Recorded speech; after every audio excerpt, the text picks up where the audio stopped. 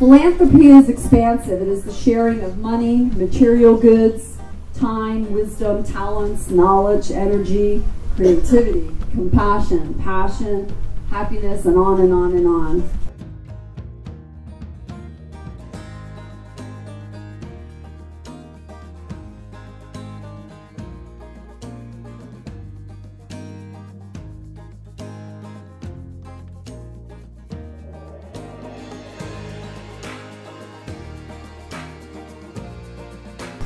Hi, my name is Kendall, and I've been a part of BHH for not even a year now.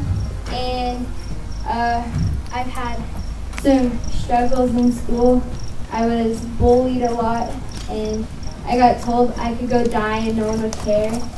And I all I remember is walking through the door, and you just got the love and support and the caring, and could turn to your right and you'd have Freddie looking over your shoulder. you'd turn to the left and you'd see Mo, and you'd just get the love and the support, and you didn't really feel any of the the hatred. Like,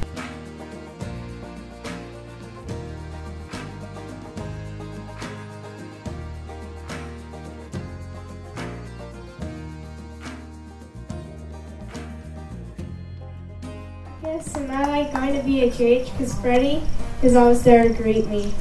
He's taught me like how to put a saddle on a horse, how to groom a horse, and a lot of other things. I like being at BHH for these years because Freddie is very nice and he's always there.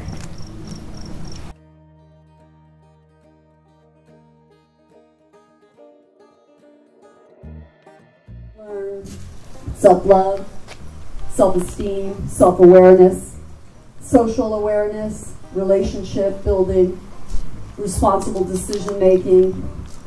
The list goes on and on.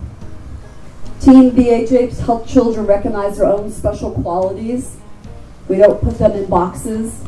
We honor them and respect them for their talents, their strengths, their capabilities, and we help them recognize that they too can have a vision and have a future.